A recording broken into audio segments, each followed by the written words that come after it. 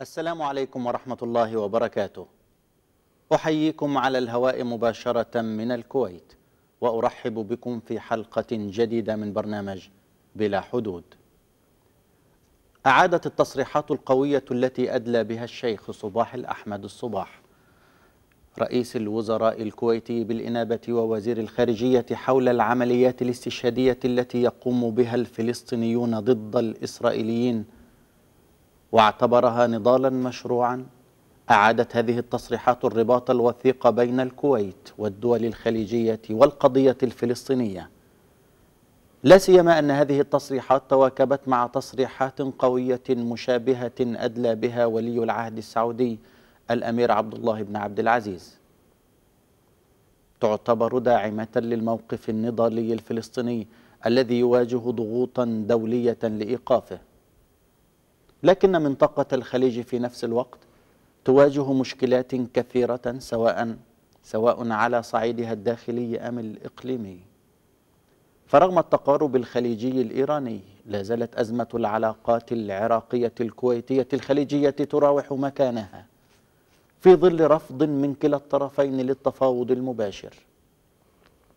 كذلك يبقى التواجد الأمريكي الغربي في دول الخليج بدعوى الحفاظ على أمنه أحد النقاط المثيرة دائما للجدل. وعلى الصعيد المحلي فقد ارتفعت أصوات الشعوب الخليجية مطالبة بمزيد من الديمقراطية وحقها في المشاركة في نظام الحكم. محاور وتساؤلات عديدة حول هذه الموضوعات وغيرها أطرحها في حلقة اليوم على وزير الإعلام الكويتي الشيخ أحمد الفهد الصباح. تخرج أحمد الفهد الصباح من جامعة الكويت عام 85 حصل على الدكتوراه الفخرية في العلوم السياسية من جامعة بوسان بكوريا الجنوبية.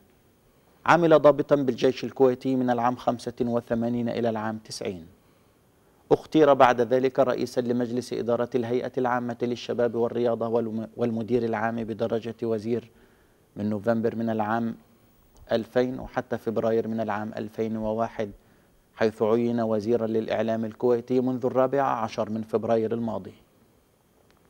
وعلاوة على ذلك فهو يرأس المجلس الأولمبي الآسيوي منذ العام 91 وحتى الآن. كذلك عضو باللجنة الأولمبية الدولية. ولمشاهدينا الراغبين في المشاركة يمكنهم الاتصال بنا على هاتفنا في الدوحة 009 7 4 4 8 8 8 8 7 3 أو على الفاكس في الكويت 00965 240 5736 أو على موقعنا على شبكة الإنترنت www.aljazeera.net كما أدعوكم للمشاركة بالتصويت على استفتاء حلقة اليوم على الصفحة الرئيسية لموقع الجزيرة نت حول موقفكم من قيام أحزاب سياسية في الخليج. مع الوزير مرحبا بك. أهلا وسهلا أخوي أحمد. في الوقت الذي أدان فيه زعيم السلطة الفلسطينية ياسر عرفات العملية الاستشهادية الأخيرة التي وقعت في تل أبيب وقدم تعازيه لشارون. أعلن رئيس الوزراء الكويتي بالإنابة. وزير الخارجية الشيخ صباح الأحمد أن العملية الاستشهادية الأخيرة تعتبر نضالا مشروعا. ما هي أبعاد التصريحات الكويتية في ظل الأزمة المستمرة منذ العام 90 بين الكويت والسلطة الفلسطينية؟ بسم الله الرحمن الرحيم. بداية طبعا إحنا يجب أن, أن, أن نفرق بين السلطة الفلسطينية والشعب الفلسطيني ونفرق بين دورنا من القضية ودور السلطة الفلسطينية مع احترامنا الكامل بأننا أمة واحدة نبحث عن مصلحة هذه القضية. لا شك أن ظروف السلطة الفلسطينية تختلف عن ظروف أي, أي, أي دولة أخرى بكونها في أحداث الموقع.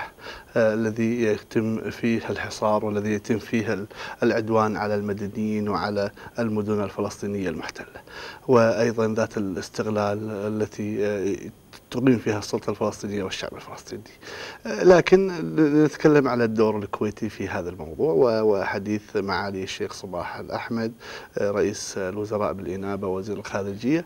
أنا أعتقد يعني هذا التصريح كان نابع من عقيدة وإيمان بهذه القضية ومن موقف صادق اتجاه هذه القضية لأن كنا دائما ككويتيين حريصين على الوقوف مع الأمة العربية في وجه الاحتلال الإسرائيلي والعدوان الإسرائيلي. لابد أن هناك بعض المشاكل الدبلوماسية في مثل هذا النوع من التصريحات ولكن يجب أن يفهم يعني الجميع بأنها نابعة من قناعة وإيمان.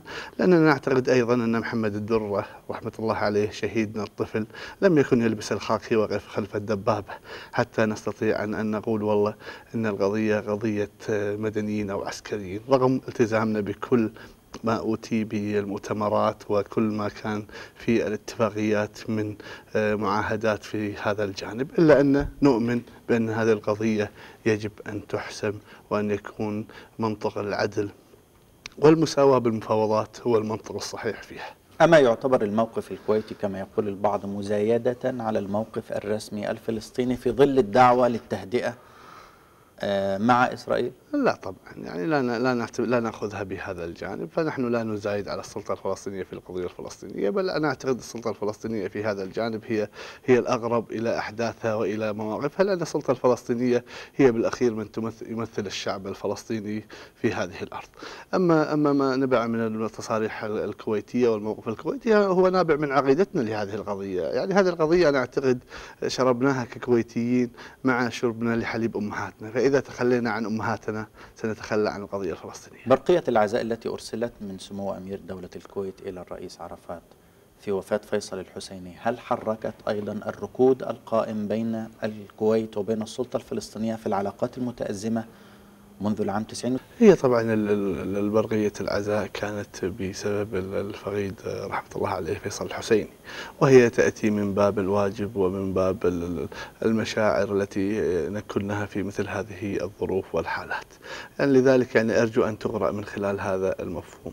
إلا إذا كان يعني تقرأ بمفهوم آخر من قبل السلطة الفلسطينية فهذه يعني نتمنى أن تكون تقرأ أيضا بطريقة إيجابية. ولكن يعني يمكن سمو الأمير كان أيضا صاحب التصريح أن آخر من يطبع مع العدو الإسرائيلي سيكون الكويت. فيعني هذه مواقف وواجبات لله الحمد تخلق من تنبع من أخلاق المجتمع الكويتي وعلى رأسه قيادته السياسية. في الوقت الذي استقبل فيه فيصل الحسيني آه، حينما جاء إلى الكويت بعاصفة من الاعتراضات استقبل خالد مشعل الناطق السياسي باسم حركة حماس والذي جاء بعد وفاة الحسين إلى الكويت استقبالا آخر وحفاوة بالغة هل يعكس هذا موقف الكويت من السلطة الفلسطينية؟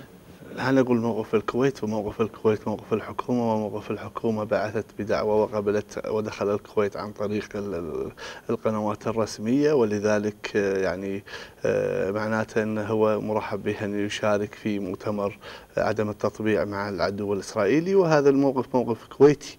أما موقف البرلمان فهو موقف السلطة التشريعية وليس موقف جماعي لأن كان هناك ترحيب من قبل رئيس البرلمان وبعض الأعضاء وخاصة لجنة الشؤون الخارجية تم الاجتماع معها إذا هي قضية قضية آراء ومواقف. ولكن يعني ما تم آه، من خلال البرلمان هو قراءة أيضا للشارع الكويتي والشارع السياسي الكويتي الذي يؤكد بأن العلاقة الكويتية مع الشعب الفلسطيني علاقة متميزة ومع القضية الفلسطينية آه، آه، علاقة عقيدة وإيمان بواجبنا.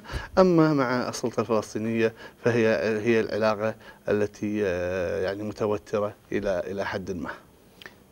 حركة فتح انطلقت من الكويت وظل موقف الكويت من القضية الفلسطينية حتى العام 90 موقفا متميزا. فهل آن الأوان أيضا لكي تقوم الكويت بتغيير موقفها بعد مرور أكثر من عشر سنوات من الغزو من حرام عليك يا أخ أحمد.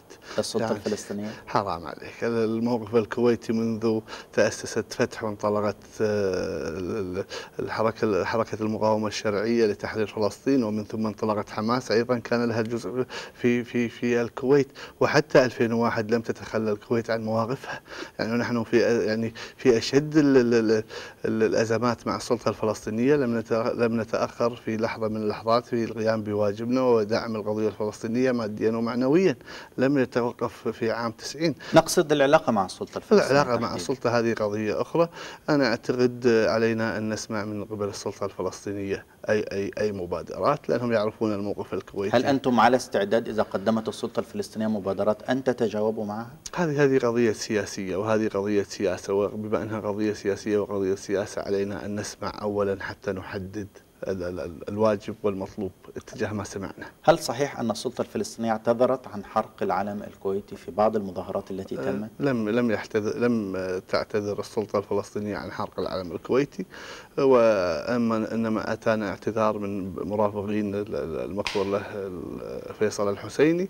وما تم من حرق العلم ال- ال- الكويتي في فلسطين ما هو إلا قضية بروباغندا قام بها شباب آه، قلة لعلم واحد وهذا لا تعكس الموقف. الحقيقي للشعب الفلسطيني. هل تطالبون السلطة الفلسطينية بتقديم اعتذار؟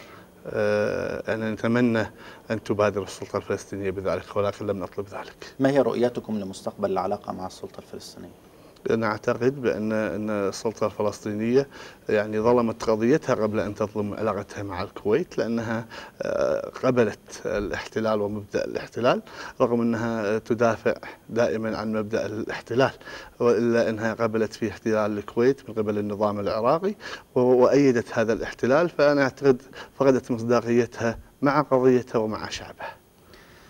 لو انتقلنا إلى محور آخر وهو أمن الخليج حيث أصبح مصطلح أمن الخليج آه، مصطلحا دوليا في أعقاب الغزو العراقي للكويت والتواجد الأمريكي في المنطقة هل لازلتم ككويتيين تعتبرون أن أمن الخليج واستقراره مرهونا بتواجد القوات الأمريكية في المنطقة؟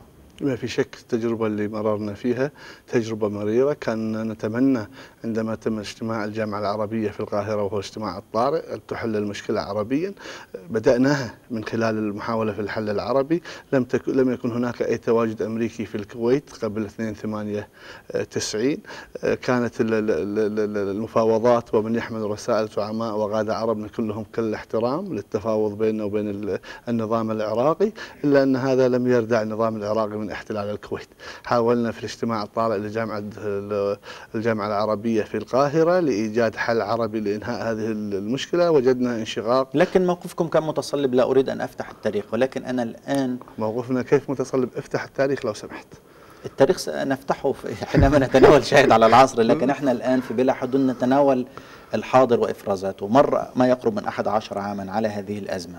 وأصبح التواجد الأمريكي في المنطقة تواجدا مفروضا وقائما. هل تنظرون لتواجد الأمريكيين الآن مثل نظرتكم لتواجد الأمريكيين بعد 2 8 نعتقد لا زلنا الطرف الأضعف بين العلاقة العراقية الكويتية أو الحالة العراقية الكويتية ولذلك لن نكون في موضع تفاوضي جيد أو أن أن نحصل على حقوقنا لكنكم الطرف جيدة. المتصلب في نفسه. ولكن من هو الطرف المتصرف بالعكس يعني أنا أعتقد أخ أحمد يعني يمكن قمه عمان هي تؤكد بأن الكويت ليس لم تكن يوما من الأيام الطرف المتصلب. في قمة عمان هي آخر القمم العربية وآخر لقاء للزعماء. كان هناك تنازل وترى وسمو على الجراحه الكويتية بقبول آه، كثير من القضايا التي كنا نعتقد من خلالها أننا نعمل على وحدة الصف العربي ورفضت من قبل النظام العراقي. كيف نكون نحن المتسلطين؟ مع الوزير أنا كل المحاولات كل لم- محاولات لم نقطع نحن تق- تقف الكويت والسعودية فيها موقف الطرف المتصلب وتمنع أي تقارب عربي عراقي. بالعكس لم لم نتدخل في يوم من الأيام. في هذا الجانب فأنت من دول مجلس التعاون تسمع تماما ال- ال- ال- البيانات في اجتماعات وزراء الخارجية واصحاب السمو والجلالة القاده والموقف الخليجي الرسمي واضح من هذا الجانب ولكن لم نتدخل في العلاقات الثنائية في كثير من الدول الخليجية مع العراق. نحن لم نو- نوقف ضخ النفط نحن لم نهدد جيراننا نحن لم نغزو جار نحن لم نحارب جار فكيف نكون الطرف المتسلط؟ يعني هذه هذه أعتقد مقولة مردود عليها بكثير من الجوانب وخاصة يعني هل هل أصبحت الضحية هي أيضا ال- ال- الطرف ال- الذي دائما يتصلب على قراراته؟ أنا أعتقد هذا الكلام مردود عليه. كثير من دول العالم قامت بينها حروب وقامت بينها صراعات وهناك أمثلة ابتداء من الحرب العالمية الثانية وحتى اليوم لكثير. من الدول التي سرعان ما انتهت بينها صحيح. هذه الصراعات صحيح. وجلسوا بشكل مباشر إلى مائدة المفاوضات وقاموا بتصفية ما بينهم من صراعات بعد مرور ما يقرب من أحد عشر عاما هل أنتم ككويتيين كحكومة كويتية لديكم الاستعداد أن تجلسوا بشكل مباشر للتفاوض مع العراقيين؟ نبتدي من حيث ما انتهينا إذا سمحت لي أحمد تفضل. أول شيء بالحرب العالمية الأولى والثانية عندما جلسوا للتفاوض فهو بعد انتهاء ديكتاتوري وبعد أن, أن, أن, أن, بدأت هذه الدول المعتدية من عمل نظام تنموي بعيدا عن التسليح وبعيدا عن المزايدة وبعيدا عن تهديد جيرانه. في هذه المرحلة فقط جلست هذه الدول لتتفاوض وظهرت منظمة الأمم المتحدة ومنظمات عصبة الأمم بعد الحرب العالمية الأولى. هذه القضية تؤكد بأن ظروفنا اليوم ليس ظروف متشابهة لا زال النظام العراقي هو النظام نفس النظام الدكتاتوري. لا زالت اللهجة نفس اللهجة. لا زالت قضايانا معلقة. لا زالت القضايا إذا كان النظام عفوا دكتاتوري فهو دكتاتوري من قبل العام 90 وكنتم تدعمونه. نفس هذا النظام أنتم كنتم تشاركون في نعم دعمه نعم ولذلك لم يتغير النظام نعم. إذا أنتم تصفونها بالدكتاتورية. الدكتاتورية ليست وليدة نعم نعم. التدخل أو الغزو العراقي نعم. للكويت. ما نختلف ولذلك نحن لا والدكتاتورية عفوا على الشعب العراقي معلش. ليس لكم علاقة بالدكتاتورية لذلك نحن لا نختلف كثيرا ولا نلوم الشارع العربي. اليوم أحمد أنا اليوم ما ألوم الشارع العربي الذي يمشي ويظهر بالم- بالمظاهرات ويصيح لأن كنا مثل هذا هذا هذا الشارع في يوم من الأيام مع هذا النظام العراقي. ولكن آه، كشر على نيابة تجاه الكويت واحتل الكويت وعرفنا وعرفنا خطأنا. ليس عيب أن ت- تبدأ في طريقه لا تعرف خطأها ومن ثم تعرف الخطأ وتعالج الخطأ. أنا أعتقد اليوم لما نجي آه، ما نلوم الشارع العربي بمظاهراته لأن نشعر بأن نفس ما كان المجتمع الكويتي قبل 82 اليوم هو الشعب العربي. ولكن بعد احتلال الكويت ومشاهدتنا لنوع التعذيب وهتك العرض والتعامل من خلال احتلال دولة الكويت عرفنا بأن هذا النظام لا يمكن أن, نبدأ مع حسن نوايا أو أن يكون جار أمين. بالنسبة للكويت أو أن تكون الدولة الأكبر للدولة الأصغر. أحد عشر عاما معالي الوزير لم تفلح الدول الغربية وعلى رأسها الولايات المتحدة في كل محاولات آه، الانقلاب أو تغيير نظام الحكم في العراق. نحن لا بل بالعكس. النظام يتقوى يوما بعد يوم. إذا كان عداءكم مع النظام الآن والنظام ممكن أن يستمر لفترة أطول يعني ليس ممكن أن يكون مرهونا بحالة راهنة فهل سيستمر العداء؟ يعني إحنا إحنا أول شيء يعني لذلك نحن نرى أمنه وأمانة في تطبيق النظام العراقي لقرارات مجلس الأمن، نحن نرى أمنه وأمانة من خلال الأسرة الدولية، نحن نعتقد عندما يطبق النظام العراقي قرارات مجلس الأمن الخاصة في الكويت فنجد نوعا ما هناك آه، حسن نوايا وارتياح بهذا الجانب، وعندما يطبق القرارات الخاصة بالأسرة الدولية ككل نجد منطقة آمنة. أنتم هذا يهمكم أنفسكم بالدرجة الأولى ما طبعا. في شك ما يعني في شك. آه، التزامه نحو القرارات الدولية أو غيرها هذا تعود للمجتمع الدولي الذي يح- يعني ونحن جزء من المجتمع. الدولي ونحن جزء من المجتمع الدولي. هناك كثير من الدول لا تطبق لا تلتزم بالمجتمع الدولي. لو أردنا أن نعرف في نقاط محددة الأسباب الآن القائمة للخلاف بينكم وبين العراق. لا هناك قضايا يجب أن تحسم. بالتحديد. شيء قضية الحدود وهي حسمت لكن رغم هذا نجد التهديد والوعيد ونجد آه، دائما التصريحات التي تكون التهديد نقيضه والوعيد يتم بناء على الضربات التي يتعرض لها العراق والتي يقال أنها طائراتها تقلع من الكويت ومن السعودية ومن المنطقة الخليجية ليس دائما أحيانا تكون دون هذه الضربات ولدي أنت في وزارة الإعلام الكويتية ولدي أرشيف أؤكد لك هذا الكلام تفضل بعد الحلقة وأعطيك إياها بمئات التصريحات من جهات مختلفة. رقم اثنين لا زال لدينا اسرى ومرتهدين في السجون العراقية. رقم ثلاثة اللي هي التعويضات وإعادة المسروقات والممتلكات ال- ال- الكويتية. رقم أربعة آه، حفظ أمن واستغلال وسيادة الكويت وطبعا هذا الأولوية. رقم خمسة عدم تطوير سلاحه ال- ال- ال- البيولوجي والكيميائي والنووي يوجهه لإسرائيل ليس الكويت يعني بعرف يعني فسرها لي. يعني إحنا إحنا الجنوب وإسرائيل الشمال. أنا أشوفها جهة الجنوب ما راح الشمال. أبي أفهمها سيذهب يعني. مع الوزير بس متى؟ الأمور تستقر. بالسبع ملايين جندي ولا بالمليار يورو؟ يعني الآن لو تد... لو قام طرف عربي وسيط أو طرف ثالث وسيط بالتوسط بينكم وبين العراق لحل هذه الأمور. وأعلن العراق استعداده للالتزام بهذه القرارات. التزامه بما يتعلق بأمن الكويت وحدودها وسيادتها. وقضية الأسرى يتم حلها عن طريق أن العراق يقول إذا هناك أحياء يقدمهم إذا هناك أموات يقدم رفاتهم.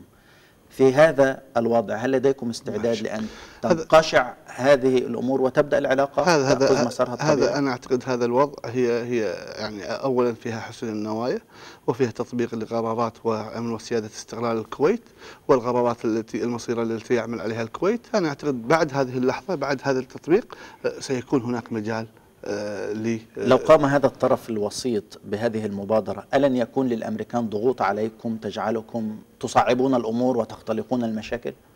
والله يعني أنا أعتقد تصريح الشيخ صباح أمس ورد كولن باول عليه ما أعتقد في دولة عربية صرحت مثل هذا التصريح وجعلت كولن باول يرد عليه، أنا أعتقد يعني الكويت واضحة في هذا الجانب، نحن نقدر تماما ال- ال- ال- الاتفاقيات الأمنية التي تحمي ال- الكويت وحدودها وأمنها واستقلالها، وهذا أمانة تقدير لا يمكن أن ننكره ولن ننكره، وسنتعاون معها من خلال الأمن واستقلال وسيادة الكويت وال- والمصالح المتبادلة، ولكن في الأخير تظل الكويت لا يتدخل في شؤونها الداخلية أحد.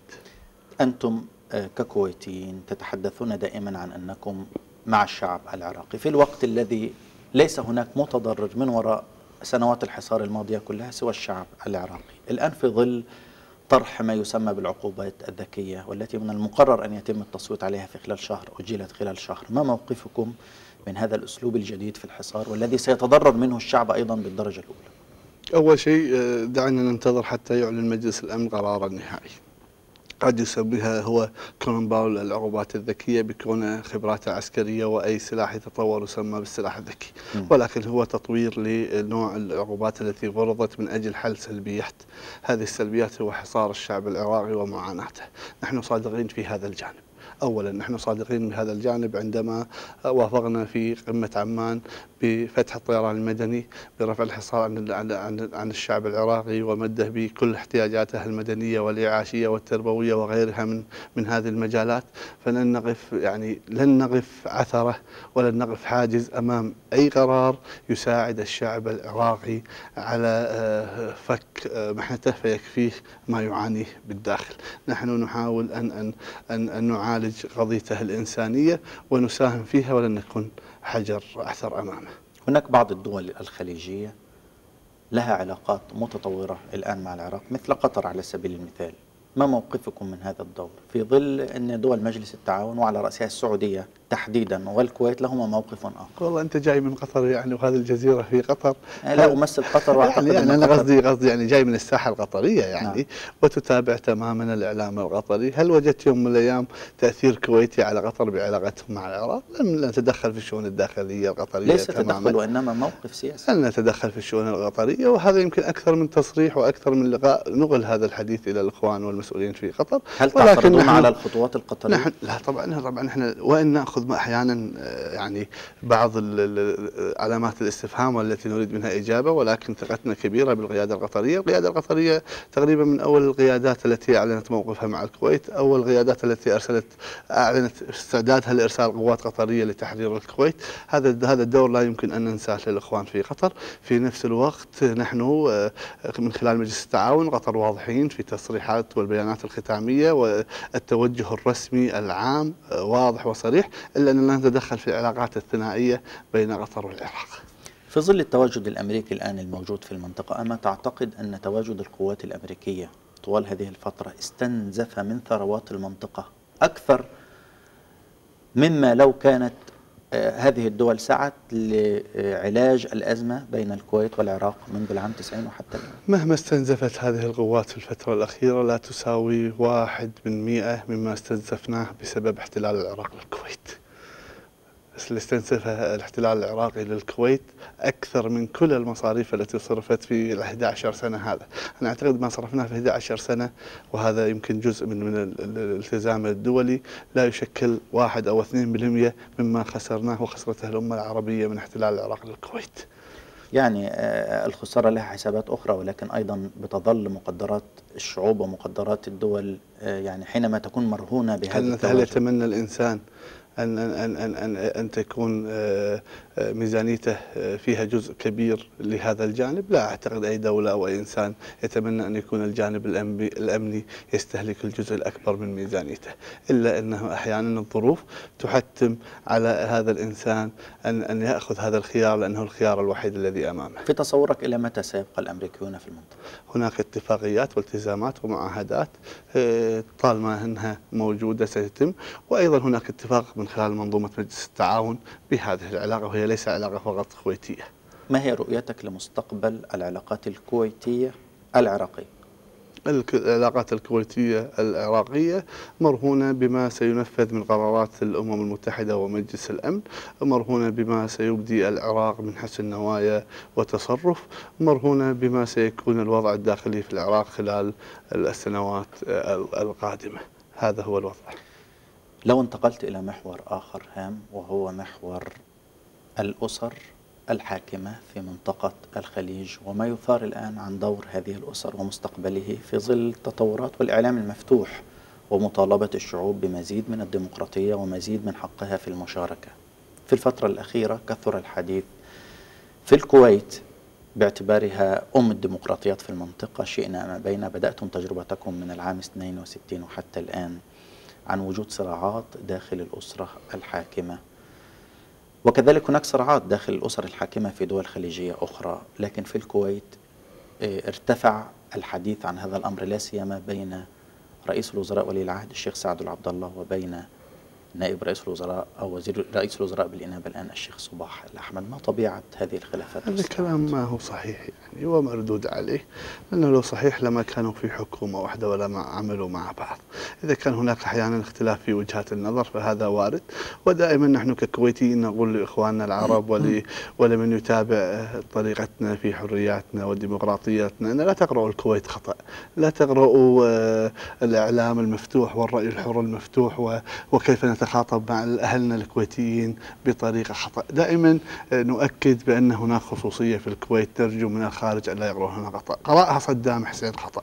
عندما شاف واحد ثمانية تسعين أن هناك آه، تحركات شعبية للديمقراطية ومطالبات وغيرها كادت تصل إلى إلى درجات من الحرارة المرتفعة جدا. وكان يعتقد بأن هذه القراءة تعني انشقاق المجتمع الكويتي ولكن لله الحمد بعد دخوله 2 8 واحتلال الكويت لم يجد كويتي واحد يتعاون معه من باب التعاون بمفهومه الرسمي السليم. لذلك نحن نكرر دائما هذه المقولة لا لا تقرأوا الساحة الكويتية خطأ ولا تقرأوا اختلاف وجهات النظر آه، بطريقة تعتقدون أنها صراعات.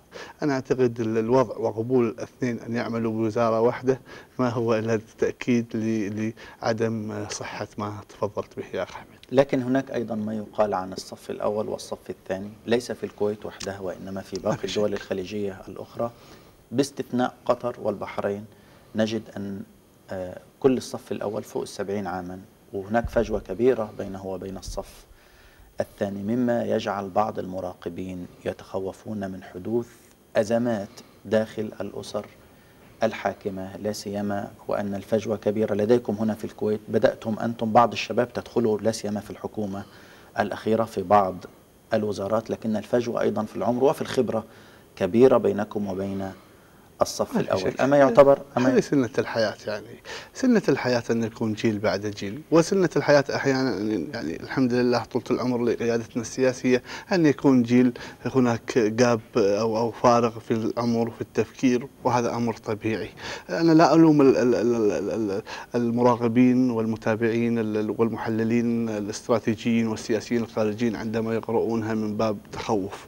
لأن دائما القارئ السياسي يجب أن يبحث عن السيناريو الأسوأ الأسوأ والسيناريو الأسوأ دائما يبحث يكون في الجانب المظلم والمتخوف.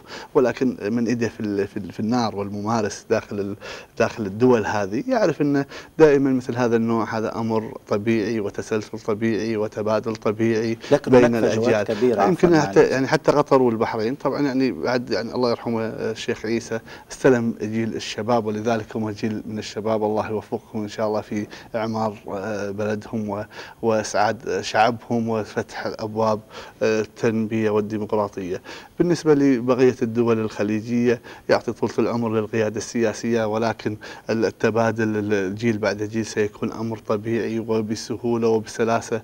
أنا أعتقد آه، تفوق آه، ما يتصور هل تعتقد أن هذا سيكون له تأثير على نظام الحكم وعلى دور الأسر نفسها في ظل مطالبة شعبية بتحديد دور الأسر؟ دور الأسر الآن ربما كان قبل 30-40 عاما الآن بنفس الرؤية دور الأسر غير واضح كما يعني كان غير واضح من قبل. خلينا ناخذها بالكويت. يعني رجاء لا أستطيع أن أتكلم نيابة عن اي اي اي اي, أي ليس الأستاذ. ولكن ولكن خلينا خلينا ناخذها كويتية. التجربة الكويتية الحالة الكويتية. وكلها اسقطها على الآخرين. يعني خلينا نأخذ الحالة الكويتية. الحالة الكويتية عندما قبل الشارع بتشكيل الوزارة الجديدة وفيها جيل من الشباب وأعلن أن هذا جيل مرشح وليس الأوحد فلا زال لله الحمد نعم. الأسرة مليئة بعناصر تستطيع أن تقود وتستطيع أن تتحمل هذه المسؤولية. أنا أعتقد الشارع كان إيجابي مع هذا التشكيل وكان داعم بل بالعكس يعني يعطي فرصة إيجابية حتى يتهيأ لهذا الجيل التجربة المناسبة حتى يكون قادر على على على استلام و- والسير بها إن شاء الله بعد عمر طويل. آه هذه التجربة وتجربتنا الآن اللي نعيشها في المجتمع الكويتي وفي الساحة السياسية الكويتية هي دلالة واضحة بأن لله الحمد الشعب والأسرة آه تحت الدستور الكويتي وتحت المؤسسات التشريعية والقضائيه والتنفيذية ومؤسسات الدولة المختلفة تسير بشكل طبيعي ولا ولا تجعلنا نتخوف من من من من المستقبل إن شاء الله. لكن هذا أيضا بيلقي علامات استفهام حول أن أبناء الأسر الحاكمة أصبحوا يسيطرون على كل المناصب الحساسة والهامة في الدولة، كل وزارات السيادة في دول الخليج أبناء الأسرة الحاكمة، حتى بعض الوزارات الخدمية الآن والله بدأوا شان. يسيطروا عليها مما يقلص من دور أبناء الشعب في أن يكون لهم دور في الممارسة. والله خلينا ناخذها بهالحسبة أجل.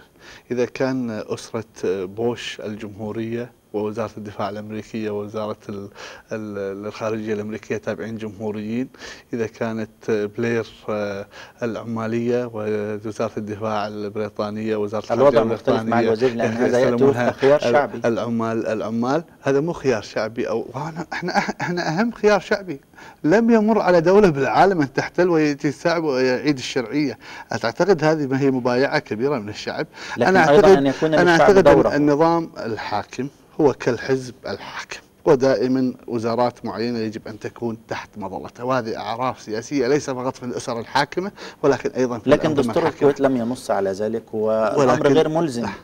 خليني أعطيك تجربة لي يعني أنا حاولت أرشح في الانتخابات منعت وكان هناك جدل دستوري والآن أنا في الوزارة بتكليف وإن شاء الله قدرنا الله على تحمل المسؤولية من أبي الجميع سيدي سمو أمير البلاد.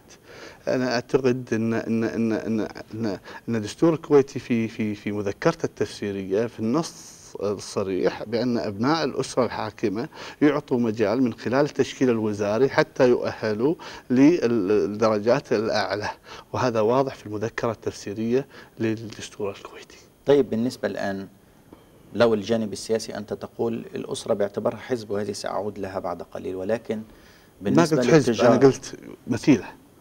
بالنسبة للتجارة الآن أصبحتم أيضا كأسر حاكمة ليس في الكويت وحدها وإنما في باقي دول الخليج تزاحمون الناس في أرزاقهم. لا يوجد وكالة الآن إلا وتجد فيها أمير أو شيخ. لا توجد تجارة رابحة إلا ويدخل فيها أمير أو شيخ. حتى بنسبة من النسب وأصبحت القضية الآن الناس تنظر لها على أنها يعني, مزاحمة يعني أرجو أن لا يكون هذا الكلام كمسلم به يعني أنا مستعد أركب وياك السيارة الحين وأدور فيك في الكويت ال- بيوت الأسر الأسرة الحاكمة لن نجد بيت. مؤسسة أو دولة لا, يعني لا, لا تأخذها في هذا. الجانب خلينا نأخذ الجانب التالي الأسرة الحاكمة عبارة عن أسرة كبيرة مثل في الكويت تعدت 2000 شخص. فلا شك أن في الأخير في في في مجموعة سياسية هي من من تبحث عن عن عن, عن التدرج السياسي. ولكن البقية يعتبرون مواطنين كويتيين بكل شيء. ولذلك من حقهم أن يبحثوا عن المجالات التي يعملوا بها. ولكن ليس بالصورة التي تفضلت فيها أخ أحمد. هناك تجار في الكويت أغنى من أبناء الأسرة الحاكمة. ليس كل أبناء الأسرة الحاكمة في مستوى معيشي مرتفع. هذه يجب حقيقة أن تبينها نحن نتكلم مع العالم. هناك حد أدنى نحن نتكلم مع. العالم هناك في حد- فضائيات. هناك حد أدنى في نعطيهم المعلومة الحقيقية يعني. وأنت وأنت لك تجربة في الكويت ولك تجربة في قطر. وعشت بين هذه الأسر الحاكمة. وتؤكد يعني لا يجب أن تؤكد للأسف أنا. لم أختلط بالمجتمعات الخليجية رغم, رغم حياتي فيها فترة طويلة. لكن يعني هناك أيضا نسبة لقضية الفقر. حينما يقال في مقابلة مع الأمير طلال في نفس البرنامج قال إن بعض الأميرات دخلهم 700 ريال في الشهر. حينما يقال أيضا قضية ال ال ال هناك بعض أشخاص عاديين في الأسر الحاكمة مفهوم الفقر والغنى هنا أيضا له معياره بالنسبة لهذا الجانب. أما يعتبر الجمع بين المناصب السياسية وبين التجارة مدخل لانتشار الفساد في هذه الدول وفي المنطقة. في في دولة فيها مؤسسات ويعني كل مؤسسة مسؤولة مؤسسة القضائية ومؤسسة تشريعية ومؤسسة تنفيذية وفيها رغابة. لا أعتقد ذلك ولك من تجربة الكويت طب بصراحة بصراحة مع الوزير هل ترى أن سلطان القضاء أيضا في الدول الخليجية يعلو سلطان الأسرة الحاكمة؟ بمعنى هل دخل على سبيل المثال أحد من الأسرة الحاكمة السجن وتعرض لمحاكمة بتهمة واضحة شأنه شأن أبناء الشعب؟ نعم. وهناك من هم بالسجن حاليا في الكويت من أبناء الأسرة الحاكمة نعم. وأنا مستعد أأكد لك هذه المعلومة. يعني نعم يعني نعم. والآن أأكد لك هذه المعلومة. يعني ربما وفي قضايا تجارية. وفي قضايا أخرى. ربما ربما تكون بعض الحالات لبعض الأفرع ربما ضعيفة في الأسرة يعني. يعني ليش ليش تاخذها يعني لازم نطلع فيها عيب؟ عرض شغلتك التفاحة تطلع. فقال فقال يا أحمر الخدين. آه، آه، أيضا أنت في في نقطة سيادتك قلتها أو معاليك قلتها الآن وهي نقطة زيادة العدد. الأسرة الحاكمة في السعودية حوالي خمسة ألاف أمير وأميرة. الأسرة الحاكمة في الكويت أنت تقول الآن بأنهم 2000 كل شخص من هؤلاء له طموحه سواء السياسي أو الاقتصادي أو الاجتماعي كيف تت يعني ستقومون بتلبية هذه الطموحات؟ في ظل أيضا مطالب الشعب بأن يكون له دور. لا نلبي طموحات أبناء الأسرة الحاكمة. نحن ليس كفيلين يعني كأسرة حاكمة وليس هناك نظام أو سيستم لتلبية طموحات هذه الأسرة. الحاكمة الأسرة الحاكمة عليها أن تعمل من خلال القنوات الرسمية وبعلاقتها من الشعب وتحاول جاهدة أن تؤهل نفسها لتحقيق طموحاتها.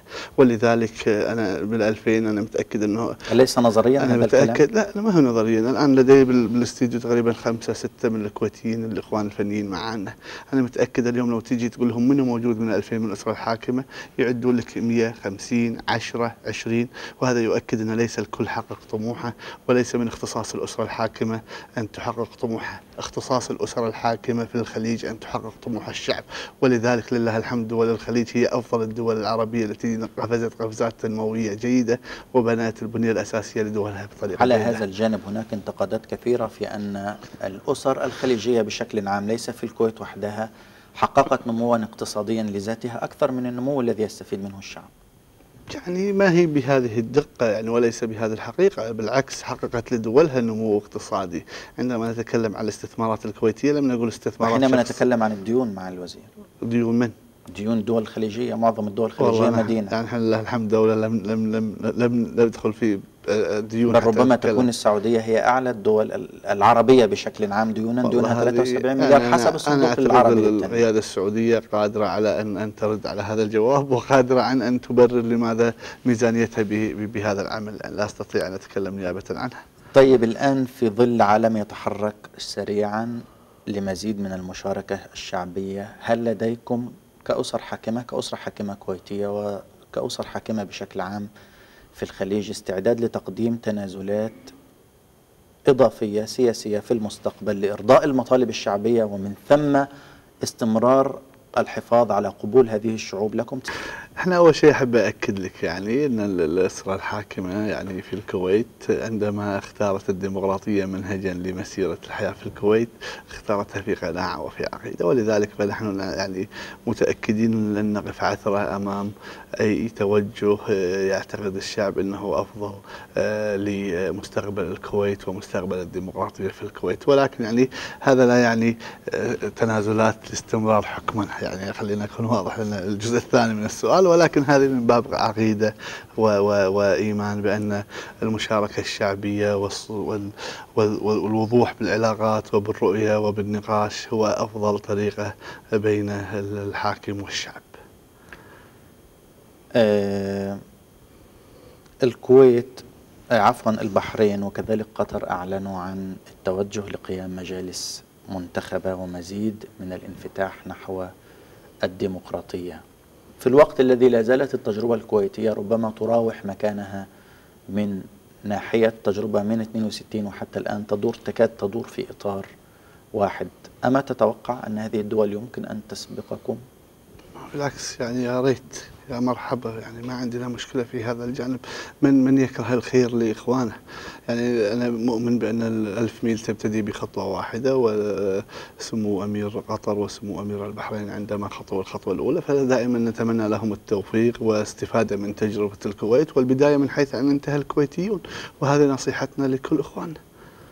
الآن أنتم ككويتيين الآن أو كأسرة حاكمة ترفضون قيام أحزاب في الكويت. ما هو سبب ذلك في الوقت الذي يعتبر هذا خطوة ارتقاء بالتجربة القائمة من العام يعني إحنا إحنا لم لم لم لم نرفض الرفض القاطع من باب الرفض القاطع، نحن رفضنا من أكثر من جانب. الجانب الأول دستوريا هذا حتى هذه اللحظة بالنسبة للأحزاب داخل الدستور الكويتي لم توضح بطريقة الواضحة حتى يكون التصور. النقطة الثانية يعني نحن يعني نستنكر أن يقوم جهة أو تيار أو مجموعة فقط بهذه المطالبة. عندما أتينا يعني ككويتيين حكام وشعب وأخوان لنضع الدستور وضعناه على طاولة مستديرة وجلسنا جميعا لنحدد العلاقة الشعبية والديمقراطية ووضعنا الدستور. ولذلك التجربة الأخرى إذا سيكون هناك نصيب للأحزاب أو مستقبل للأحزاب فأنا أعتقد كان يعني أو الأفضل دائما أن تكون بنفس المنهجية التي انتهج فيها تأسيس الدستور الكويتي. إبراهيم السبيعي من الكويت يقول أن التجارب التجربة الأوروبية في أوائل القرن دلت على أن الأسر الحاكمة حافظت على استمراريتها في ظل ملكيات دستورية. في حين أن الأسر التي تصلبت في وجه المطالبات الشعبية مثلما حدث في ألمانيا والنمسا وروسيا أزيلت من المسرح وبصورة دموية أحيانا كما حصل لآل رومانوف في روسيا. هل يمر الخليج بظروف مشابهة في المستقبل خصوصا إذا ما ساءت الظروف الاقتصادية؟ إن شاء الله إحنا نتمنى إنما يعني نتمنى أن تكون العجلة في هذه الحياة وفي ديناميكية العمل وآليته بطريقة إيجابية، لا لا لا لم نشاهد تعنت كبير في هذا الجانب عموما يعني. يعني هل تتوقع في ظل بعض الدعوات بإعلان ملكيات دستورية أو إمارات دستورية أن يكون لهذه الخطوة تواجد في الخليج على غرار بريطانيا على سبيل المثال. قد يكون ذلك في مراحل معينة في المستقبل. قد يكون ذلك. نحن لا نقرأ المستقبل ولكن نؤكد بأن يعني على الأقل في الكويت هذا النهج والديمقراطية أصبحت عقيدة وآلية لحياة دولة الكويت والسياسة الكويتية. ولذلك أين ستصل بنا هذه الديمقراطية؟ سنتعامل معها. لابد ستكون هناك عثرات ما في تجربة ديمقراطية في العالم يوجد فيها عثرات لا يوجد اختلاف بالديمقراطيات الديمقراطية البريطانية البريطانية عكس غير الديمقراطية الأمريكية مع أنهم غريبين وغيرها يعني بكثير من الجوانب ولكن لابد أن الديمقراطية تمشي في هذا النوع من الآلية ولابد أن يكون هناك عثرات ولكن أعتقد التلاحم اللي موجود في المجتمع والتلاحم بين النظام والشعب سي يعني أنتم كشباب هل تفكرون أنتم كشباب هل تفكرون في عملية تطوير لنظام الحكم بحيث يمكن أن يصل إلى نحن نفكر في تطوير البلد وتطوير الديمقراطية وتنمية الموارد الاقتصادية وجعل الكويت درة الخليج إن شاء الله دائما ما رأيك في تجربة الجمهوريات الوراثية التي بدأت تظهر الآن في العالم العربي؟ هل تشكل الدكتاتوريات العسكرية أنظمة وراثية طمعا في كسب الاستقرار الذي تشهده الدول الخليجية؟ لديهم قراءة خاصة داخلية أمانة. م. علينا أن, أن نحترم الرأي فيها. أنا أعتقد آه، الاستقرار أصبح يعني آه، آه، مهم جدا لتطوير أي مجتمع ولتطوير أي دولة ومن خلال قراءاتهم أجمعوا لنقول أجمعوا يعني من الذي أجمع؟ يعني خلينا نشوف التجارب العربية الأخرى. فيها شبه إجماع في هذا الجانب على مستواهم المحلي فهم أقدر يعني أهل أهل مكة أدرى بشعابها. الشعوب مغيبة في هذا الجانب. والله يعني على الأقل إحنا تابعناها من وسائل الإعلام وشفنا وسائل الإعلام والتأييد الكبير والتصويت وشفنا هذه الأمور كلها في وسائل الإعلام. هل وسائل الإعلام كاذبة؟ أنت أدرى بها مني أنت وزير إعلام وتدري بها أنا إذا كان أرجع لك الجزيرة. أنا أقيم قناة الجزيرة فقط. إبان الخمسينات والستينات كان دخول الولايات المتحدة مسرح السياسة في الشرق الأوسط دور كبير في قضية الانقلابات العسكرية وإزاحة الأسر الحاكمة. حدث هذا في مصر وسوريا والعراق وليبيا. وكتب بعض عملاء المخابرات كتب آه، ممن قاموا بهندسة هذه الانقلابات. أما تعتقد أن مع تواجد أمريكا في المنطقة أن أمريكا يمكن أن تطبق السيناريو الذي طبقته في الخمسينات عليكم أنتم هنا؟ ما أعتقد الخمسينات هي الألفين لا أعتقد الألفية الجديدة هي ألفية الخمسينات. لا ما لا أعتقد أن الاستعمار ال- القضايا هذه هي القضايا اليوم اللي يستطيع العالم ان أن يسيطر بها على العالم. أنا أعتقد العولمة اليوم واتفاقية الجات والحقوق الفكرية هذا هو هذا هو هذا هو يعني الضمان الجديد لاستمرار آه، أيديولوجيات معينة في هذا العالم ككل وليس بأسلوبها القديم. آه، هذه يعني قناعة لدي بهذا الجانب. هل صحيح أن التيارات السياسية في الكويت وزعت نفسها على أجنحة الأسرة الحاكمة وأصبح كل تيار الآن يستقطب بعض أفراد الأسرة لدعم نفسه؟ ما أعتقد هذا صحيح ولذلك يعني لكن هناك تصريحات وهناك كتابات مكتوبة حوالين بعض. المسؤولين أو أو بعض أفراد في الأسر الحاكمة يدعموا هذا التيار أو ما. هو صحيح. يعني الواحد يأخذها من التجارب وليس من أشخاص. التيار ليس شخص. عندما يتكلم شخص لا, لا لكن يكفي شخص من الأسرة الحاكمة أن أن يدعم تيارا معين مو مو مو بهذه الطريقة، هناك علاقات اجتماعية متشابكة في المجتمع الكويتي برغم وجود تياراته السياسية ولكن تعال نرجع للمواقف السياسية والتصويت فيها داخل قبب البرلمان والبرلمان الكويتي، نجد هناك يعني اختلاف بالمواقف مما يعكس بأن ليس هناك التزام لاتجاه أو لطرف معين. أيضا لديكم ما يسمى أو هناك آه، معلومات تتردد عما يسمى بوجود تيارات الآن داخل الأسرة الحاكمة كل تيار منها يتصارع على مواقع النفوذ سواء من الناحية السياسية أو من الناحية الإعلامية أو من الناحية أنا وزير الإعلام لم. تمر علي هذه التجربة لا زلت أنا أربعة أشهر وزير الإعلام لم أشاهد أي صراع في وزارة الإعلام لهذا الجانب.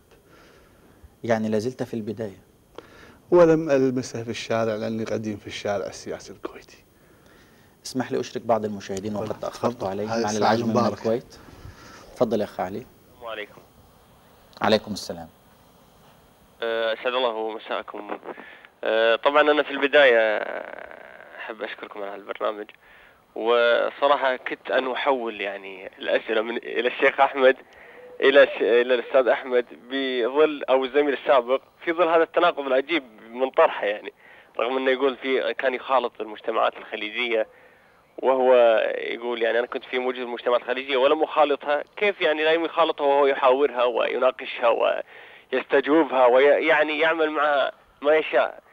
على العموم لي- لدي يعني سؤالان أو سؤالين للشيخ أحمد. الأول يا هلا فيك آه الله يسلمك. آه طبعا ما في شك شيخ إن أهم قضية تواجه الكويت تجاه العراق هي قضية الاسرى بجانب طبعا الهاجس الأمني التي يعني تحاتيه الكويت. ألم يكن هناك يعني تحرك فاعل وجدي تجاه هذه القضية ال- الإنسانية؟ يعني من خلال نكون يعني أكثر صراحة بإرسال يعني آه وسيط تلو الوسيط تلو الوسيط بمن يعني يقدرهم أو يعني يحن لهم العراق. حتى يعني يعني لن نضرب مثالا الأسرة الكويتية التي فقدت من تقريبا ست سنوات. لما كان هناك وسيط الملك المغرب يعني كان له باع أو ذراع في أن إخراج هذه الأسرة من العراق. هذا السؤال. السؤال الثاني آه، وعلى عجالة لعله يتعلق ب آه، يعني الشيخ أحمد خاص أبو فهد. آه، إبان توليه رئاسة اتحاد كرة القدم. يعني كان طبعا يوجه له نقد لاذع من قبل إحدى الصحف المحلية وهي صحيفة الرأي العام. وبماذا يفسر أبو فهد هذه الهدنة؟ هل هو اتفاق سلام أم لم تكن هناك انتفاضة من أحد الطرفين؟ وشكرا لكم على هذا الوقت يعني. شكرا لك. اسمح لي مع أخوي. الوزير بس أوضح. أنا حينما قلت أني لم أخالط المجتمعات الخليجية كان مقصدي هو دخول القصور قصور الحكم وهذه الأماكن. أنا فعلا يعني لا أدخلها إلا آه، في الضرورة وبالتالي أنا لا أختلط بها اختلاطا آه، حتى يفهم الأخ علي وغيره. الاختلاط الذي يؤهلني أن أقيم الأمور من الداخل. فقط أحببت أن أوضح. تفضل معي الوزير. يعني أنا أول شيء بالنسبة لقضية الأسرة ما في شك أن لم يكن هناك باب يستطيع تستطيع الخارجية الكويتية أو لجنة الأسرة والمفقودين أو اللجان الشعبية أو الجمعيات النفع العام من طرقه إلا وطرقت وأنا أعتقد أيضا لم الكثير من الوفود والكثير من ال- الشخصيات التي زارت العراق أبدت للنظام العراقي هذه القضية وحاولت جاهدها ولدينا كثير من الردود ولدى هذه الجهات التي طلبت الاستفسار عن هذه هذه القضية كثير من الردود وها نحن نستمر في هذا التوجه وسنحاول جاهدين ولن نتنازل ولن نتخلى عن هذه القضية أبدا وهذا يعني عهد على الكويت وأهلها وحكومتها آه، سيستمرون بالنسبة لهذه القضية الإنسانية. بالنسبة للسؤال الثاني يعني أنا أعتقد الإخوان في الرأي العام إخوان وعزيزين ولا شك أن كان هناك يمكن خلاف في وجهة النظر الرياضية واتفاق في وجهة النظر السياسية. آه، أكيد فيه يعني آه، دلالات معينة لهم ولكن لله الحمد يعني هذا جزء من الديمقراطية الكويتية أنك تستمع وتغرأ الانتقادات حتى ترى الصالح منها وتحاول أن, أن تصلح إذا كنت مخطئ من الأخطاء ويعني أنا أشكر آه، هذا النوع من العلاقات وهذا الرقي بالعلاقات بين المؤسسات الكويتية المختلفة هل صحيح أنكم ككويتيون قررتم التخلص من عقدة قناة الجزيرة بإنشاء قناة فضائية إخبارية تبث على مدار الساعة تنافس قناة الجزيرة؟ أنا اللي سمعت العكس. سمعت أنه كان في اجتماع لمجلس إدارة الجزيرة قبل يومين وعلى جدول الأعمال وضعوا الكويت وأبو ظبي كمنافسين في المرحلة القادمة. هل هذا صحيح يا أخ أحمد؟ أنا كنت جوا الجزيرة بس لم أدري هذا لابد لكم مصادر داخل هذا اللي سمعته يعني. لكن على كل حال إحنا نعتقد أن, أن, أن يجب أن تكون مساحات الكويت بما أن دولة صغيرة أكبر. ولا ولم نضع في يوم من الأيام حسابنا للجزيرة. لأن بالأخير بالجزيرة. يعني لم تضعوا حساب للجزيرة من الجزيرة خلينا نكملها بس. عقدة أساسية بالنسبة لكم لم نضع حساب بالجزيرة لأن الجزيرة في قطر الشقيقة نعم. يعني لم نضع حساب في الجزيرة في أي مرحلة من المراحل لأنها في قطر الشقيقة ونعرف في النهاية نحن وقطر بلد واحد. بكل يعني آه، خلينا نقول التشنجات والزعل والجروح ولكن بالأخير لن لن نفترق إن شاء الله. لكن الكويت حريصة أن يكون لها مساحات إعلامية. قد نستفيد بجزء من تجربة الجزيرة وليس بكل التجربة قد نستفيد بجزء من تجربة أبو ظبي جزء من تجربة الام بي سي الفضائيات. ولكن يجب علينا أن نطور آه، هذا المجال. يعني فعلا ستنطلق قناتكم الفضائية الإخبارية؟ ما هي إخبارية يعني أمانة إخبارية بمعنى الإخبارية نحن م. قريبين يمكن من أبو ظبي والام بي سي يعني هي أخبار بحجم كبير ولكن أيضا بها الدراما الكويتية وبها المحاور يعني البرامج الحوارية والثقافية والدراما متى ستنطلق هذه القناة؟ نتوقع في شهر أكتوبر أو نتمنى خلينا نقول نتوقع نتمنى أن تكون في شهر أكتوبر لأن اما تحتاج إلى وقت أطول من الدراسة. طبعا تحتاج إلى وقت أكثر للتنفيذ. الدراسه أنا أعتقد اليوم تجارب كثيرة أصبحت الفضائية عبارة عن عن عن عن دفتر كتاب. تفتحه فنيا تحتاج كذا آه، كادر تحتاج كذا مواد تحتاج كذا طبقها تطلع فضائية لأن تجارب ما شاء الله كثيرة في العالم. ولكن يمكن الفترة آه، ثمان أشهر شهر اثنين لشهر عشرة أنا أعتقد يمكن هي اللي يعني هي التحدي الحقيقي أمامنا كوزارة إعلام. هل ستبقى تحت سيطرة وإدارة وزارة الإعلام؟ ما في شك هي قناة التلفزيون الكويت هي ليس قناة مستقلة. ألن تمنحوها الاستقلالية التي تؤهلها للقيام بعمل مهني وأن تنافس؟ الجزيرة؟ لله الحمد يعني إحنا نعتقد ان إن لا ننافس الجزيرة لا إن شاء الله ما يجي اليوم اللي ننافس فيكم الجزيرة. أنتم أنتم عندكم شغلة. يعني أنا اسمح لي اقولها أخ أحمد وقلبي صديق ما هو عدو يعني إن شاء الله. أنتم حطيتوا العالم باللوجو مالكم. ينزل في البحر تغرقون العالم عشان تطلع الجزيرة. إحنا ما نبي نغرق العالم يا أخوي إحنا نبي نبني العالم. إحنا بنطلعه معنا. لا أنتم تغرقون العالم وتطلع الجزيرة. نغرقه وإحنا بنغسله. فإحنا ما نبي ما نبي نوصل إلى مرحلة نغرق العالم على حساب محطتنا. إحنا بمحطتنا لإبراز هوية الإنسان الكويتي وتجربته الديمقراطيته وعروبته. ستظل يعني محصورة بالمحلية الكويتية. لننتظر ونرى. هل ستعتمدوا على العنصر الكويتي فقط في ادارتها وتشغيلها؟ إن شاء الله يعني هناك سيكون كادر عربي كامل.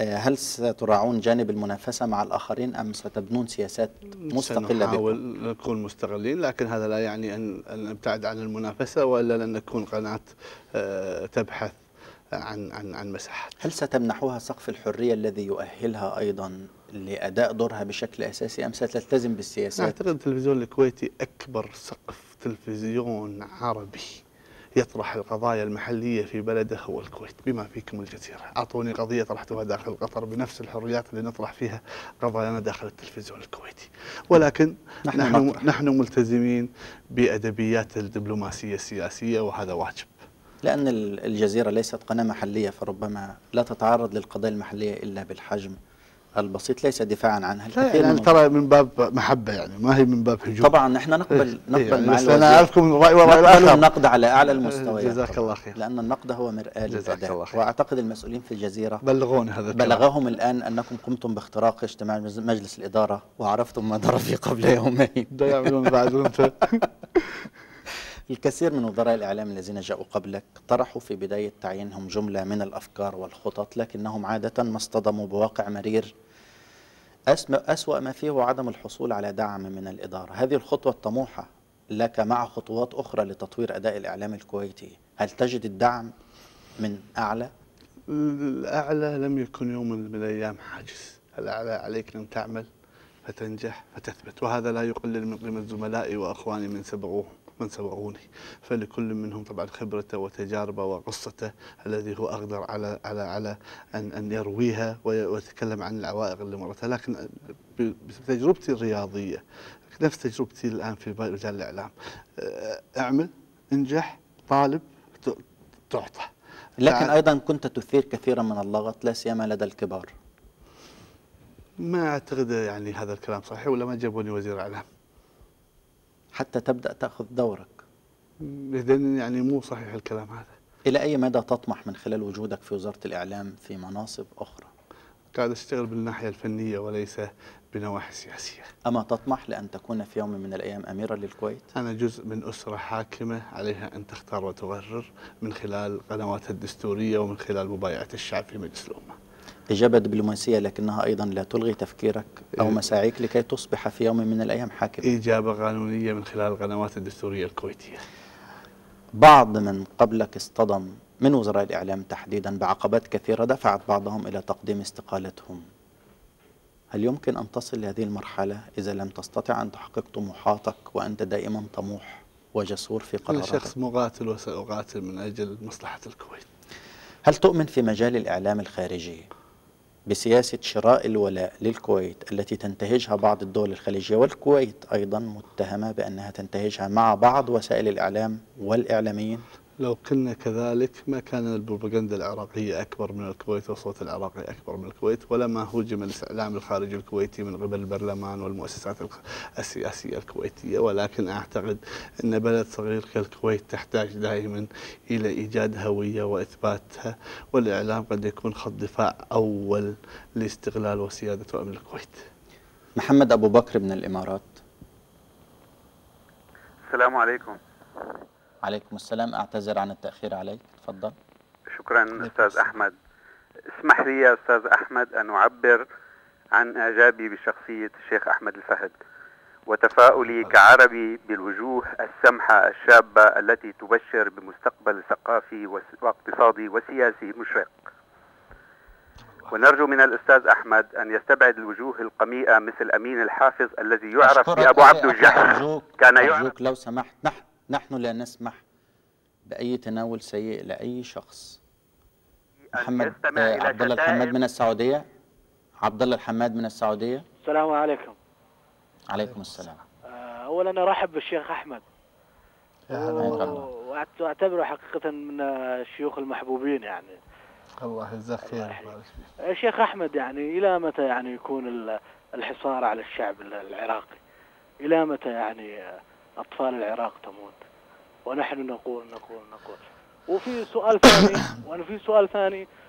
آه، لاحظ الحرية الإعلامية في الكويت هبطت إلى الصفر. فأرجو الرد على هذا السؤال. شكرا. شكرا لك. تفضل مع. السؤال الثاني. بيقول. الحرية الإعلامية في الكويت هبطت إلى الصفر.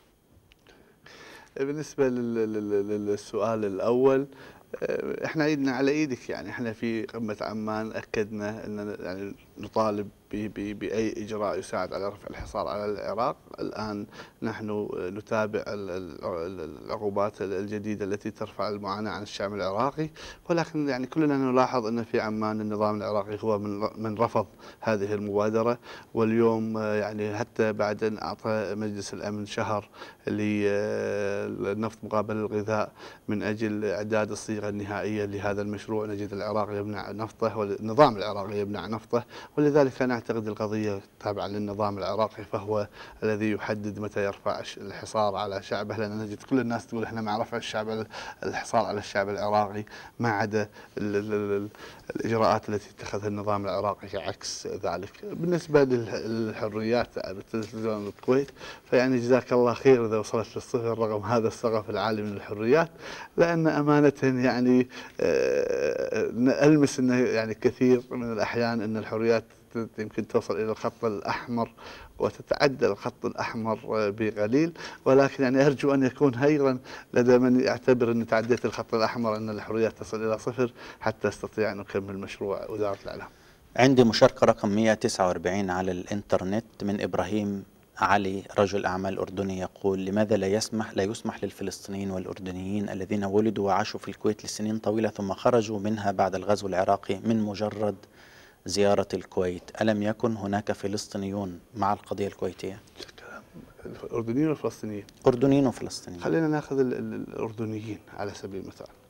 الأردنيين هناك أعداد كبيرة من الأشقاء الأردنيين يعملون في الكويت. هؤلاء الذين لم يخرجوا. لا هناك الآن في التلفزيون الكويت عقود جديدة لأشقاء أردنيين يعملون معنا الآن ثمانية.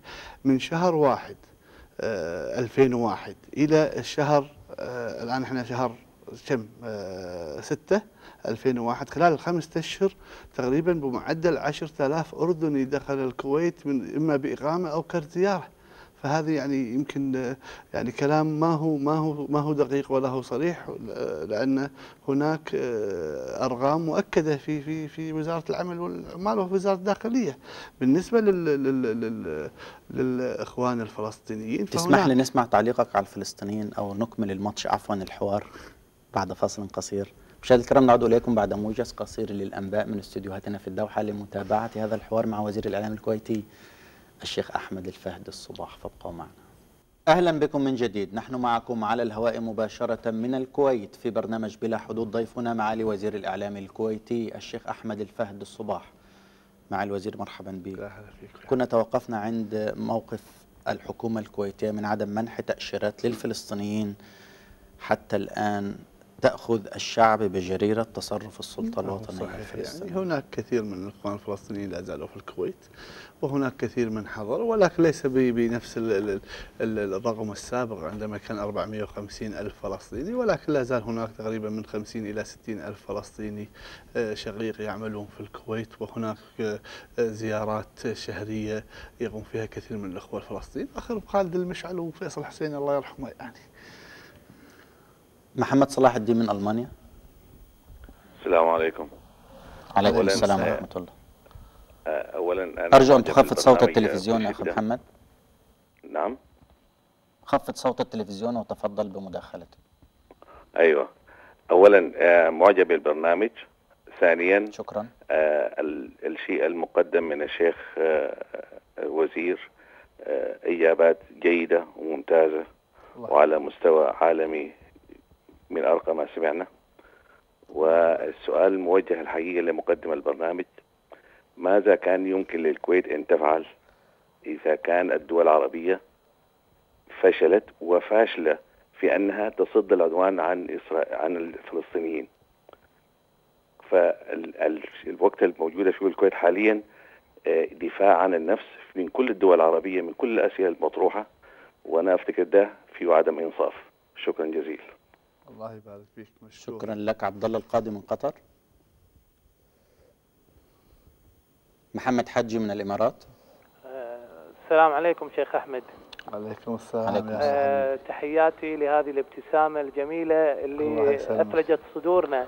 يعني حتى أنا ابني اللي عمره ثمان سنوات قاعد ويتفرج على أحمد فهد الأحمد. الله يخلي لك إياه. الله يسلمك. آه، شيخ أحمد إحنا لنا سؤال وإلى جانبه بغينا بعد الأخ أحمد يعطينا فرصة للسؤال الثاني اللي بنوجهه له إذا ما يزعل.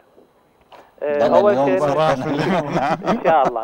آه شيخ أحمد آه ألا تجد أن هناك هجوم كبير على الشخصية الكويتية خارج الكويت بسبب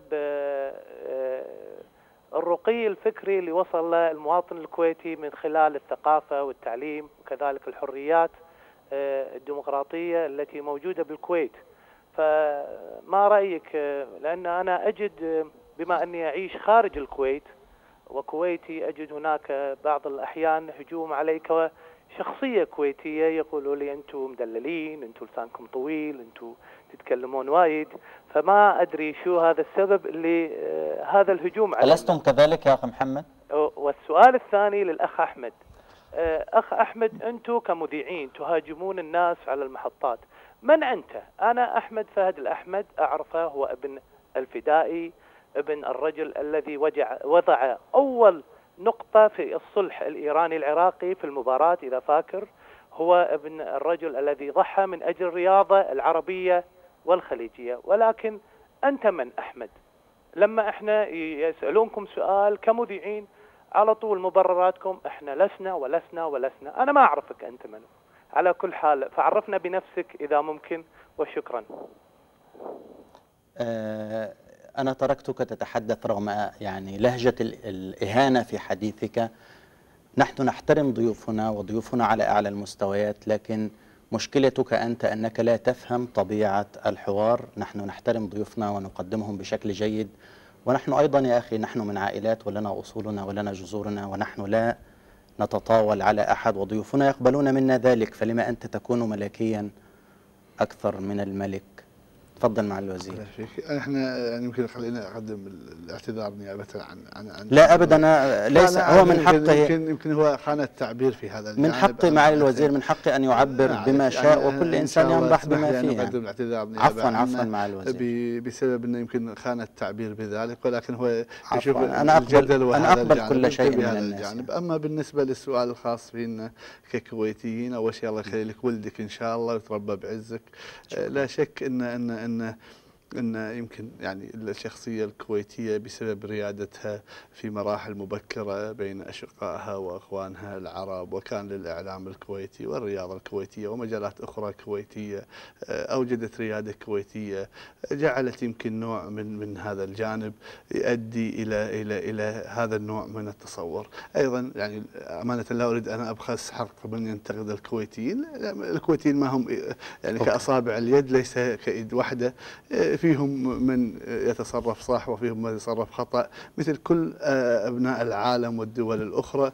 ولذلك أحيانا قد يشاهد في هذا الجانب هو غرور ومن هذا الجانب يمكن يكون في هذا النوع من الشعور. إلا أني آه، أؤكد لله الحمد أن تجربتنا آه، تجربة يعني رائدة. لكن والله والله والله أن نعشق العرب ونعشق كل دولة عربية ونعشق الخليج ونعشق إخواننا الخليجيين. فنشعر بغبن إذا, إذا, إذا ظلمنا من هذا الجانب. نشعر بغبن أكبر يمكن من غيرنا لأن دولة صغيرة والمعتدى عليها والدولة التي لم تتخلى يوم من الأيام عن موقف عربي صريح والدولة التي كانت دائما على على على الجبهات مع أشقائها العرب. لكن لست معي عفوا مع الوزير فأن تصرفات كثيرة فردية من كثير من الكويتيين أيضا تسيء إليه تسيء إليكم ككويتيين. أعطني دولة في العالم ما فيها تصرفات لكن أحيانا الصفة الغالبة هي اللي لا بتكون شائعة. اعتقد لأن يمكن لأن لدينا حرية معينة وصحافتنا مغروءه وأعلامنا مشاهد ومنابرنا عالية. تجعل الآراء تتطاير يسارا ويمينا مما يوجد هذا النوع من الفلسفة المتواجدة على الساحة السياسية العربية واتجاه المراقبين والنقاد العرب. ولذلك يعني نحن لا نلومهم يعني أمانة لكن أعطني دولة في العالم أعطني دولة في العالم. العالم. إحنا إحنا إحنا كلنا متجردين لما نجاوب على الكويتيين انه ليس كأصابع اليد الواحدة أنا أعتقد كل دول العالم ليس كأصابع اليد الواحدة يعني. عندي مشاركة رقم 188 على الإنترنت. هل يعتقد الشيخ أحمد الفهد أن التأخر في الحياة الديمقراطية في دول الخليج ناتج عن أن المجتمع الخليجي غير مهيئ للحياة الديمقراطية أم أن الأسر ليست مهيئه لهذا التغيير؟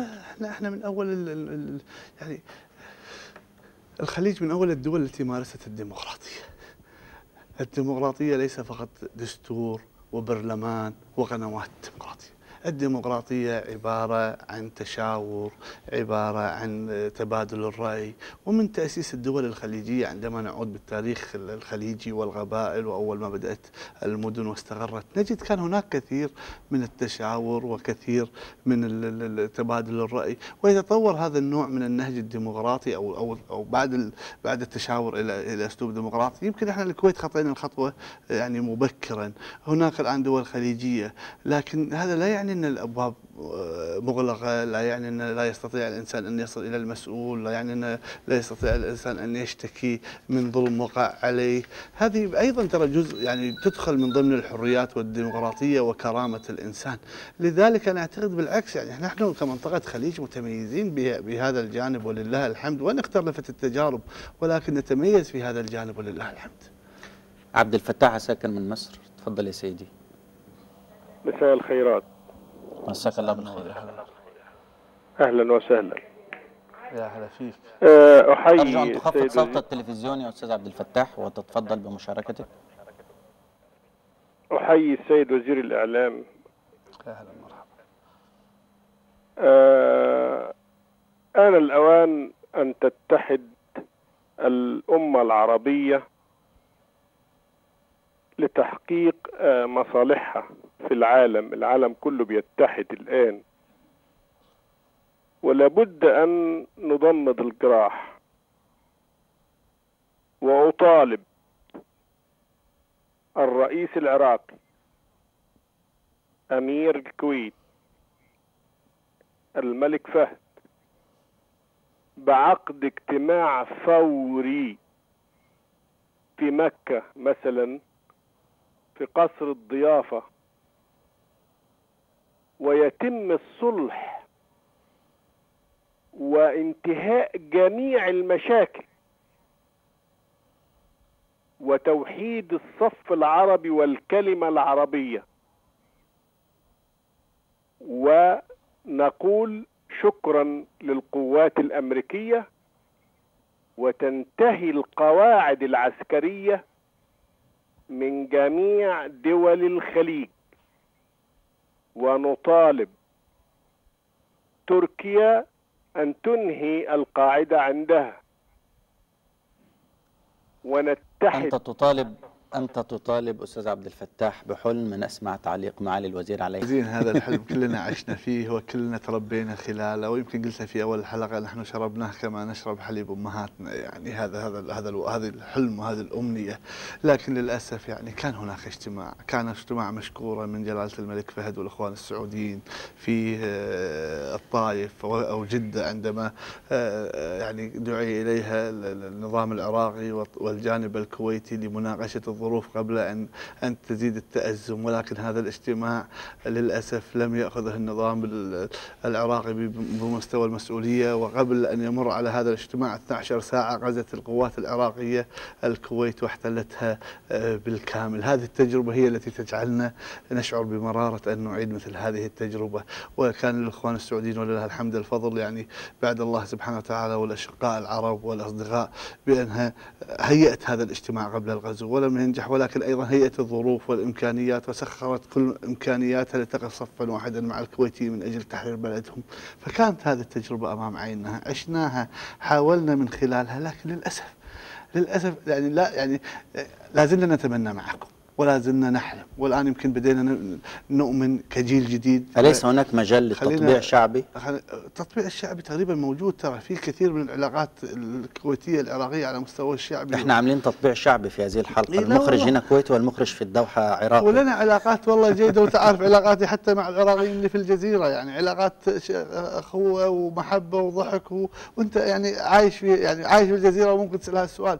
ولكن للأسف يعني الآن حتى قناعات شاركنا في أن الأمة العربية وحدتها الوحدة القديمة اللي سمعنا عنها أعتقد وهي الوحدة السياسية. خلاص أصبحت حلم صعب. أعتقد الآن خلونا نتوجه على الأقل الوحدة الاقتصادية التنموية اللي ممكن تكون أكثر فائدة ولدينا تجارب أخرى شبيهة. لكن يعني أتمنى أن نصل إلى هذه المرحلة كما يتمنى أخي وشقيقي السائل. آه، مصطفى إبراهيم من بريطانيا. تفضل أخ مصطفى. سيد أحمد أنا في سؤال عايز اوجهه لسيادتك أنت. السؤال يعني النهارده أنا سائل آه سيد أحمد إنك بتقول إنه موقف الكويت متصلب. أنا عايز أفهم مين اللي قال لصدام حسين يهجم على الكويت؟ مين اللي قال لياسر عرفات إنه أيد صدام حسين؟ هل الكويت عملت حاجة في صدام؟ هل الكويت عملت حاجة في آه، ياسر عرفات؟ أنا كفلسطيني مستعد اقولها باسم وبعلنها في كل العالم إنه لا صلح مع العراق إلا إذا نفذ جميع القرارات وأولها الأسرى. وإنه لا صلح مع عرفات مع عرفات كشخص عرفات. لكن زي ما أنت شايف إن حكومة دولة الكويت باميرها وشعبها رحبوا بالسيد المرحوم الشهيد فيصل حسين رحموا بجميع الفلسطينيين هذا دليل على إيش؟ هذا دليل على أخلاق الشعب الكويتي وعلى أخلاق الحكومة الكويتية.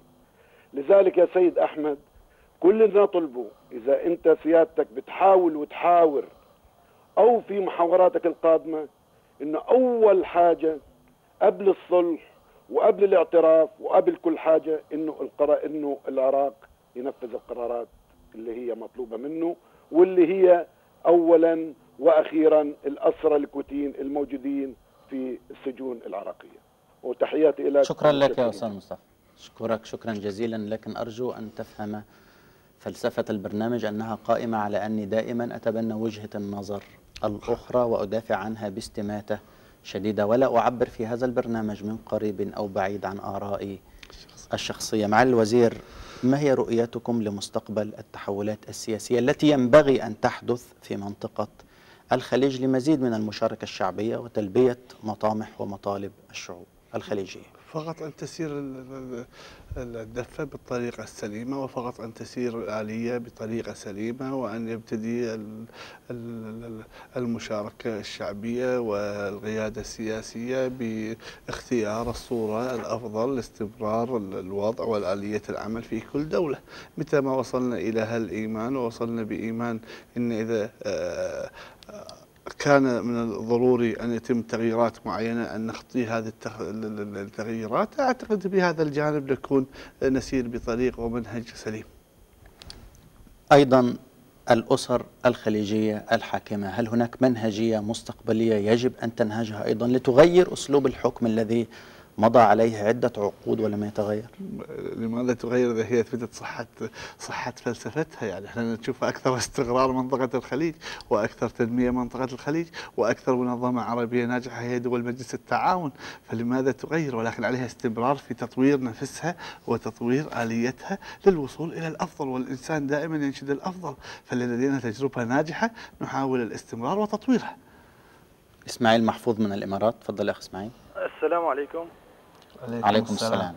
آه، في البداية اسمح لي أن أحيي ضيفك الكريم الشيخ أحمد. يا هلا مرحبا وأن أشد على يده وأن أطالبه بعدم التنازل عن كل المتطلبات الكويتية لأن من حقهم ذلك. الله الله أما, أما ثانيا أريد أن أطرح عليك سيد أحمد سؤالا وهو نقد بناء لقناة الجزيرة.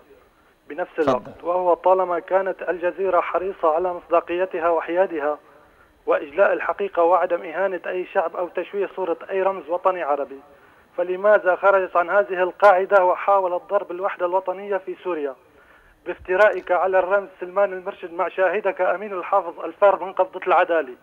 لأنه لأنه يمثل الكذب والافتراء والخيانة في سوريا. ما ورد لا يتعلق بحلقة برنامج اليوم والرئيس أمين الحافظ مسؤول عن كل الأشياء التي أدلى بها ولست أنا وقضية إسماعيل المرشد موجودة وقضية آه، هذا الموضوع معالج في الكتب بشكل أساسي وحقيقة موجودة واقعية من حقكم أن تنتقدوها. ووصلتنا آلاف الفكسات من أمس وإلى اليوم على قناة الجزيرة تعترضون على هذا الأمر.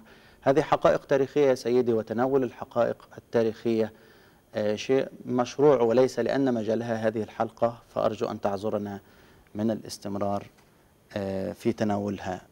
مع الوزير في ختام البرنامج كرؤية آه، آه، أخيرة بالنسبة للجانب الإعلامي لدي تساؤلات كثيرة من التي أتت تتحدث عن القناة الفضائية الجديدة وهل غرضكم الأساسي منها هو تحسين صورة الكويتيين في الخارج؟ لا الحمد لله صورتنا حلوة في الخارج ما تغير فيها شيء.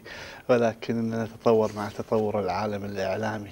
اليوم الإعلام يتطور بطريقة كبيرة وسريعة. إن لم نخطو هذه الخطوات وإن لم نخطو هذه ال ال ال ال بهذا النوع من الآلية سنجد نفسنا تأخرنا بشكل كبير. وخاصة نعتقد بأننا نملك بنية أساسية إيجابية تساعدنا على الخطوات اللي نقوم فيها فنحن من الدول التي عرف عنها تفوقها في الدراما ولدينا بنية أساسية للعمل الدرامي بشكل جيد بما لدينا من عمل فني جيد أيضا ولدينا من المحاورين والمذيعين والمشاركين بشكل إيجابي وممكن أن تتابع المحطات الفضائية ودائما تجد الكويتيين ولله الحمد مشاركين مع إخوانهم في هذه المحطات.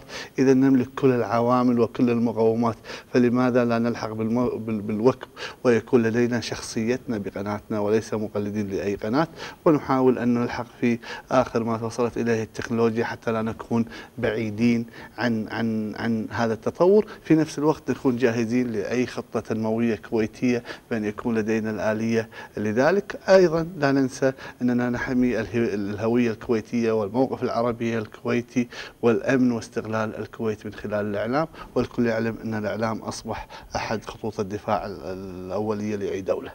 قبل نهاية البرنامج مشاهدينا الكرام أود أن ألفت عنايتكم إلى أن التصويت على حلقة اليوم مفتوح على الصفحة الرئيسية على شبكة الإنترنت إلى يوم الجمعة القادم حول موقفكم من قيام أحزاب سياسية في الدول الخليجية. وقد بلغ عدد الذين قاموا بالتصويت حتى هذه اللحظة 14177 مصوتا. حول السؤال في ضوء الانفتاح الذي تشهده بعض الدول الخليجية هل تؤيد قيام أحزاب سياسية في الكويت؟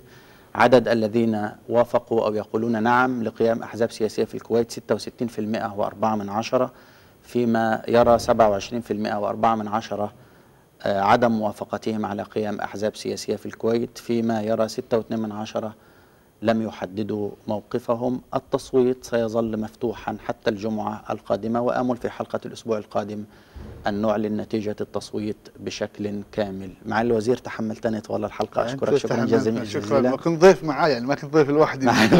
شكرا جزيلا لك. على سعة صدرك وعلى ما أديت به كما أشكركم مشاهدينا الكرام على حسن متابعتكم. في الختام أنقل لكم تحيات فريقي البرنامج. من الكويت والدوحة وهذا أحمد منصور يحييكم بلا حدود من الكويت. والسلام عليكم ورحمة الله وبركاته.